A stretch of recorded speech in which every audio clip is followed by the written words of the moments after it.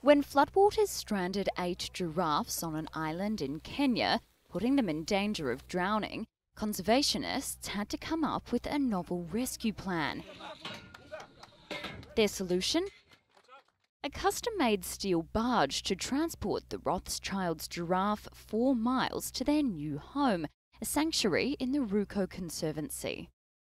Relentless rains have raised water levels in Lake Baringo, gradually swallowing the peninsula on which the giraffes were living. The Kenya Wildlife Service worked in partnership with the US based Save Giraffes Now and Kenya's Northern Rangelands Trust to carry out the operation. Two giraffes, Asiwa and Easter, have now made the aquatic escape, and the organisations are working to save the remaining six. Rothschild's giraffes are becoming a rare breed, with around 3,000 left in Africa, 800 of which are in Kenya. The Wildlife Service said the move to Ruko Conservancy will also afford the giraffes protection from poachers and predators.